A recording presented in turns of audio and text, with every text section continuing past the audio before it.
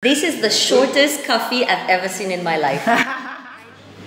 Today we are at Paolo's workshop and we're in the middle of the project in what we're doing together for um, Made in Cloister for stained glass, which is going to be a very large piece. Um, that's going to be an exhibition in October. Funziona, però Che cosa ti piace del farlo? Cosa mi piace? Mi piace la sera quando non c'è nessuno nel laboratorio e io sento il forno, il forno scattare. Ta, ta. E io sto facendo qualche cosa e sento il silenzio delle pareti. Questo è tutto il nostro affetto nei confronti della, dell'area Stark. Tuo. grazie a lei maestro. Grazie.